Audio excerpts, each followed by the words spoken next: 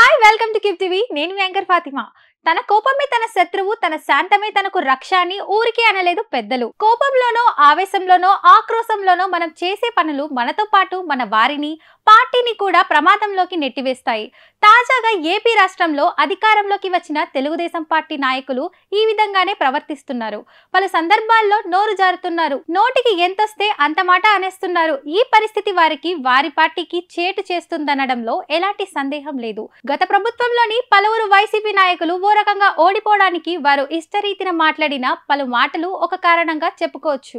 రీసెంట్గా జరిగిన ఎలక్షన్లో భారీ విజయం సొంతం చేసుకున్న కూటమి నేతలు అదే దారిని అనుసరిస్తే ఎలా అనే ప్రశ్నలు తలెత్తుతున్నాయి. సంయమనం పాటిస్తూ కోపాన్ని ఆవేశాలను అదుపులో ఉంచుకోకపోతే వారికి వారి ప్రభుత్వానికి చిక్కులు తప్పవు. టీడీపీ సీనియర్ నేత ఏపీ టీడీపీ మాజీ అధ్యక్షుడు ప్రస్తుత వ్యవసాయ శాఖ మంత్రి కింజరావు అచ్చెన్నాయుడు తన నియోజకవర్గంలో ఏర్పాటు చేసిన కార్యక్రమంలో మాట్లాడిన మాటలు దుమారం రేపాయి. గత వైసీపీ ప్రభుత్వ కాలంలో తమ టీడీపీ నాయకులు కార్యకర్తలు అణచివేతకు గురయ్యారని ఆక్రోశం ప్రదర్శించారు. నేడు పరిస్థితులు మారాయని తమ పార్టీ నాయకులు కార్యకర్తలు భయపడాల్సిన రోజులు పోయాయని వెల్లడించారు. ఈ క్రమంలోనే ఆయన చేసిన వ్యాఖ్యలు చర్చకు దారితీశాయి. ఆయన మాట్లాడుతూ మీరందరూ టీడీపీ బిల్లులు పెట్టుకొని ఆఫీసులకు వెళ్ళండి. అధికారులు మీకు కుర్చీ వేసి టీ ఇచ్చి మరీ మీ పనులు చేస్తారు. అలా చేయకపోతే అధికారులకు ఎలాంటి గతి పడుతుందో వారే చూస్తారు అని అన్నారు. ఈ వ్యాఖ్యలతో కూడిన వీడియో ఇంటర్నెట్లో దుమారం రేపింది.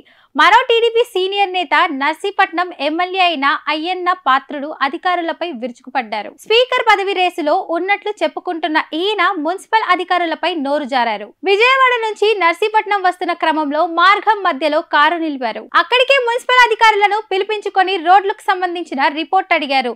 రోడ్లు కాలువల పరిస్థితి ఏమంత బాగలేదని వారిపై అసభ్యకరమైన పదజాలం ఉపయోగించారు.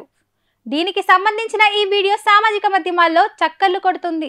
ప్రభుత్వంలోని సీనియర్ నాయకులు బాధ్యతాయుత పదవుల్లో ఉన్న వీరు తమ కోపాన్ని అణచుకోలేక అసభ్య పదజాలంతో నోరు జరితే ఎలా అన్న ప్రశ్నలు వస్తున్నాయి. తమ ఇతర నాయకులకు కార్యకర్తలకు మార్గనిర్దేశంగా ఉండాల్సిన సీనియర్ నాయకులు గాడి తప్పడం ఎంతవరకు సమాజం సమన్వయం పాటిస్తూ ప్రభుత్వ అధికారులను ఇతర ముఖ్యమైన వాళ్ళను కలుపుకొని పనులు సాగిస్తేనే ప్రజల్లో పేరు ప్రభుత్వంపై నమ్మకం ఏర్పడతాయి.